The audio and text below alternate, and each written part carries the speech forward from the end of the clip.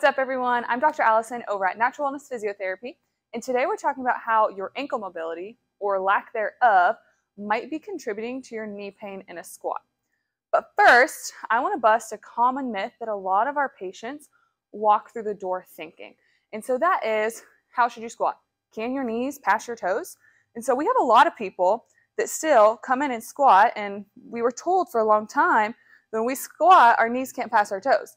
And so then it's all here to get any more depth. Well, while that does decrease the forces on your knee by like 22% to prevent them when you prevent them from passing your toes, it actually increases the torque or forces on your hip by 1070%.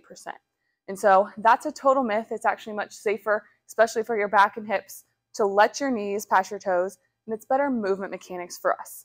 If we look at like our nieces and nephews, kids when they're toddlers, you know, they can just sit down here in this squat playing with their toys or whatever, and that's how we're designed to move.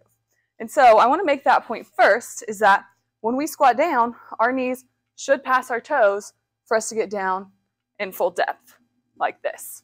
And so what happens sometimes if you don't have enough ankle range of motion to let your knee pass your toe, so I'm coming down, coming down, maybe this ankle is not quite as good, and I end up sitting in this little rotational spot at the bottom of my squat. And so this knee has to take on a lot more force than the opposite side. And so lack of range of motion here can cause knee pain here.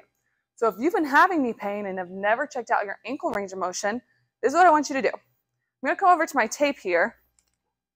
This tape is about four inches from the wall. That's our goal for people. And so if you come down into half kneeling, keeping your heel on the ground, you should be able to push your knee all the way to the wall. And so, like I was saying, if you try that test and you can't get your knee all the way to the wall, you might be lacking some ankle mobility, and that might be what's causing your knee pain in squats. And so, I like I said, if you're lacking it, give us a call if you need help with some exercises to kind of work on that and get your ankle moving better. But until next time, I'm Dr. Allison over at Natural Wellness Physiotherapy.